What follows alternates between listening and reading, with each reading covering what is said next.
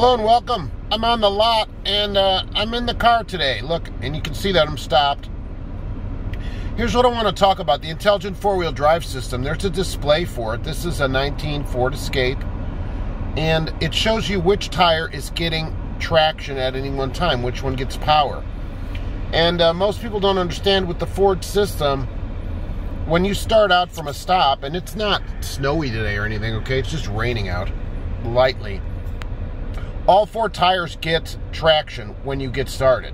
And then the tires uh, in the rear lose traction as they're not needed. But whenever you start out, all four get traction all the time to get you started safely from a stop.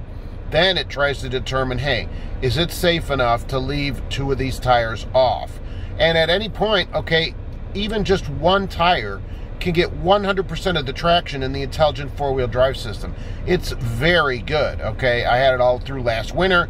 It works great. And I like this display that you can have on the dashboard uh, to see what exactly is going on. There the wipers go as, uh, as it's raining. So let's check out, uh, you know, the intelligent four wheel drive system and just see for the heck of it how it works here as we start out, right? We're right here. We're going to get started and we'll see all four tires get traction.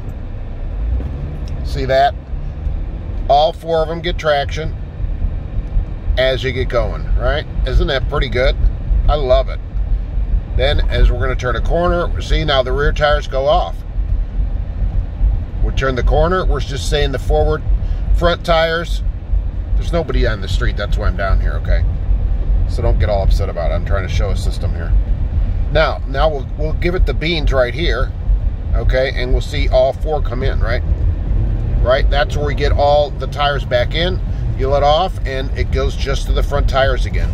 That's how the intelligent four-wheel drive system works here. Always gets four tires when you get started. So from a stop, right, we stop again, right? And we get going. All four tires get traction. All four tires, even though we're going slow. Stop, and then you get traction to all four tires when you start with intelligent four-wheel drive. All four tires get traction. See right there, we can go really light, and it's the back tires. That gets you going from a stop every time. It's unlike usually the foreign systems that do this more than others because Honda and Toyota, they're trying to maximize fuel economy. All right, I'll be honest about that. This does not maximize fuel economy. This maximizes traction this maximizes safety. Yeah, you get the uh, you lose a little fuel economy with it uh, because you get all four tires at every start. But other systems, you have to have slippage before you engage those rear tires, and by then you're already slipping.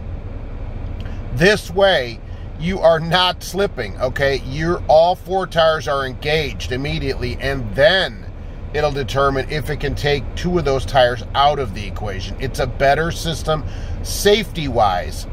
It's a better system safety wise than uh, other systems that only engage the rear tires during slip. All right, I think it's one of the best uh, all wheel drive systems on the market today because of that. That's my opinion. Ford doesn't pay me, believe me. I wish they would. I buy enough for their cars. But uh, they don't pay for that it's a great system. It works great in all kinds of different traction situations, and I love it. You lose a mile or two per gallon over what you'd get in a maybe a foreign make or something like that, but I'll tell you what, in the wintertime, you wish you had this system. It's way better. All right, that's my opinion of it anyway. And that's actually how it works. And you can see right there how it works. From a stop, you get all four tires involved right there. See that? All four tires get traction that's how it works. All right, thanks for watching this uh, on the lot. A little bit different uh, thing, but I wanted to show the four-wheel drive system. And uh, we'll see you next time.